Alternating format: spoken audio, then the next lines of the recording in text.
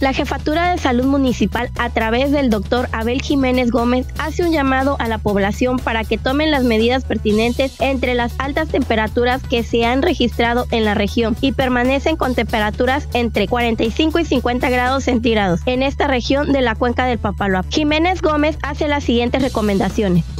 Una que lleve protector solar si es posible, la otra a través de sombrero o sombrilla para que se cubra de los rayos del sol en un momento dado y no permanecer por mucho tiempo bajo el sol eh, directo porque si no también ocasionaría esta parte de deshidratación.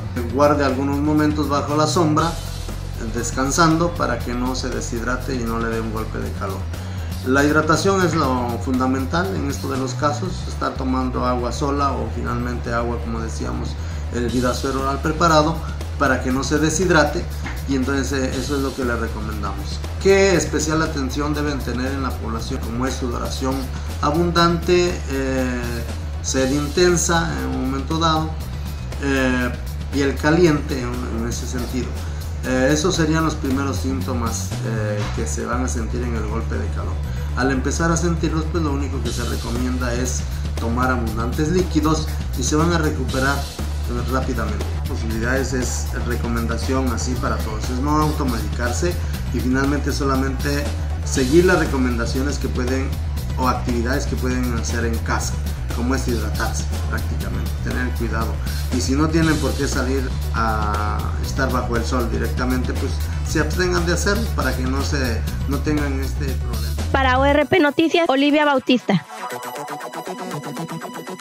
A casi tres meses que inició el conflicto dentro del Instituto Tecnológico de la Cuenca del Papaloapan, María del Rosario Salazar, secretaria sindical de la Delegación 270 de la Sección 22, explicó la situación Señaló que ya se han entregado oficios de inconformidad al Tecnológico Nacional de México para que intervengan en el asunto, pero a casi tres meses no han resuelto estas peticiones. Menciona que además han solicitado a las autoridades del plantel una negociación, pero hasta el momento tampoco ha sucedido. María del Rosario Salazar comentó.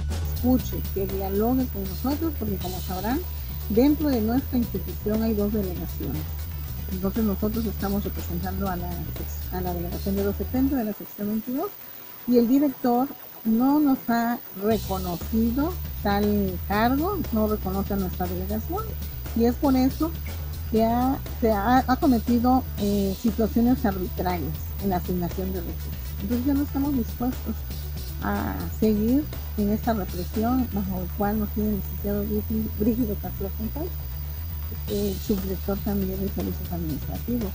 Yo creo que independientemente del gremio sindical, nuestros derechos laborales y sindicales deben ser respetados. El director por la mañana este, en realidad sí se acercó aquí a, la entrada del plantel, tuvimos eh, cierta intercambio de información en donde le hicimos saber que habíamos tomado la decisión de tomar las, instalaciones del tecnológico en base a que han pasado más de dos meses y que no se ha acercado a, como delegación a, dialogar con nosotros. Entonces nosotros estamos ahora sí en espera de las autoridades a nivel nacional para que ya resuelvan esta situación. Para ORP Noticias, Paola Sosa.